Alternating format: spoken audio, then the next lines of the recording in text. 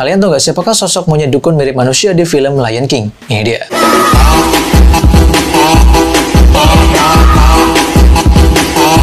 Sosok monyet dukun mirip manusia yang ada di film Lion King 2019 digambarkan cukup sakral di beberapa adegan film tersebut. Mulai dari scene mengangkat bayi Simba setelah dilahirkan dari pasangan Mufasa dan Sarabi sebagai raja dan ratu di Pride Land, kemudian berhasil menyadarkan kembali Simba untuk kembali ke Pride Land dan merebut kembali tahta kerajaan. Lalu pada scene akhir di mana monyet itu menyentuh kening dari Simba setelah menang Baiwon dari Scar, hingga mengangkat kembali anak dari Simba dan Nala di part paling terakhir. Nah, ternyata sosok monyet dukun itu bernama Rafiki, yaitu penasehat dan seekor peramal dari kerajaan Pride dan karakter suaranya diperankan oleh John Kenny. Rafiki sering dianggap gila dalam film tersebut karena tingkah lakunya. Namun Rafiki dikatakan mampu melihat kejadian penting di masa depan. Adapun di dunia nyata, Rafiki dikenal dengan nama Mandrill atau monyet dukun, yaitu spesies primata dengan bentuk warna unik dan besar, serta banyak ditemukan di kawasan Afrika Barat. Kalau menurut kalian gimana?